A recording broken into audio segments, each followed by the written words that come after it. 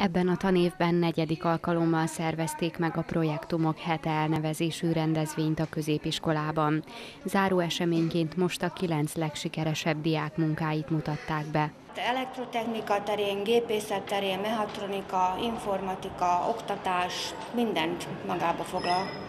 A bemutatón az Iván Szárics Műszaki Iskola Uzsicei és Kragujeváci partnerintézményei mellett több egyetem és főiskola képviselői is jelen voltak. Továbbá néhány vállalat vezetői is megtekintették a diákok prezentációit. Így könnyebben el fogják tudni adni a munkájukat majd későbbiekben, hogyha befejezik a középiskolát. A munkákat szakzsűri bírálta el. Az egyik legfontosabb szempont a szakmai tervek gyakorlatban való alkalmazhatósága volt. Az iskola igazgatója Ivánovics Erzsébet köszöntő beszédében hangsúlyozta, hogy a projektumok bemutatásán egymás munkáit is megismerik a diákok.